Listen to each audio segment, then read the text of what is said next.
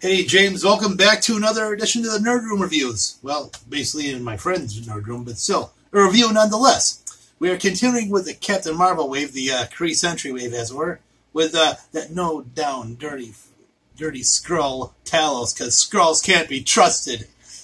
They're sneaky, they're deceptive, and they're rat things. Down with Skrulls. That's right.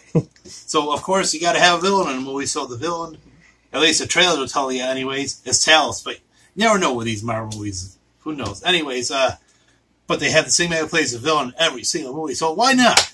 It's tab casting. Anyways, uh, we're going to review the figure, take the tour around the box, talk about the figure, and see how it goes. So, uh, without any further ado, let's get cracking. Okay, we have our Talos Skrull from the Legend series of Captain Marvel. As you see, the cover shows him off nicely with the Build-A-Figure part in the back. Looks very pretty, nice open area. See him on the side there, really dark looking, so it kind of does look evil.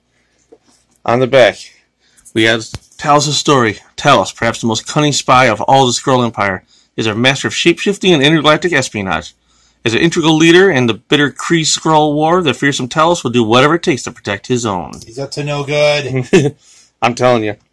Here's some other pictures of the waves that are there from the Kree Sentry. There we go again, one more time with the very dark, evil looking side box. And then we have the Star Force logo on the top.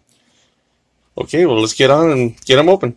Okay, so we have Talos out of the box. He doesn't come with any accessories because, you know, if you're in a Kree Skrull war, why do you need weapons? Anyways, uh, he's a shapeshifting Skrull. No good, uh, no good son of a gun. Uh, I do like the likeness, of course. Like I said, they've been doing fantastic jobs with the likeness of these uh, film figures over the past. If you've seen the studio figures, you know they've been doing gangbuster work. And he comes with a Kree Sentry leg. We're not going to need that till the build.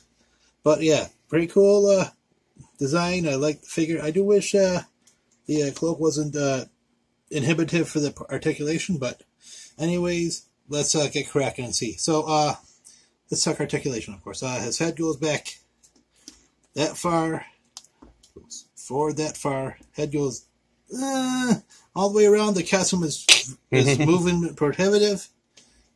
He has a little bit of a head tilt. Uh, arm goes up all the way up. That's kind of cool. Goes all the way around.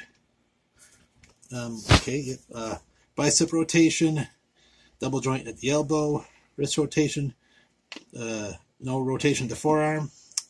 Um, yeah, uh, he he can go back that far, goes forward that far, but the the the cloak is very articulation prohibitive.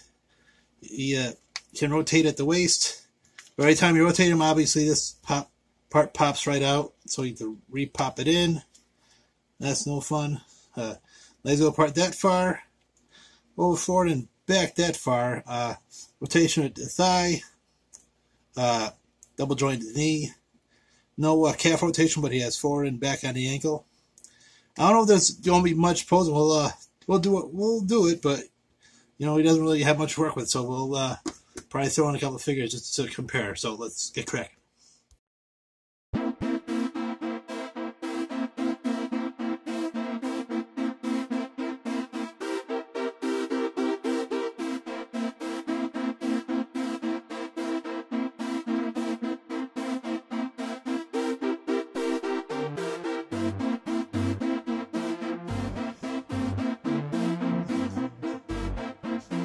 Okay, guys, so that is our review the uh, Talos figure. Very cool. I wish it came with some more accessories, maybe an alternate head for like, you know, ship, ship shape shipping.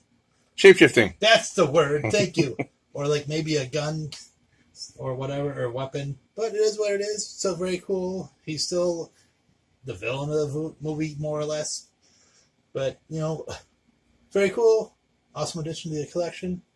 So how can you not want to pick him up? So um, that's it for this review, guys. Thank you so much for watching. As always, I always appreciate your support. You're watching these videos, sharing the videos, whatever. Um, if you do like this video, do me a favor and hit that like button, please. If you haven't subscribed already to the channel, please hit that subscribe button. I'd appreciate that too.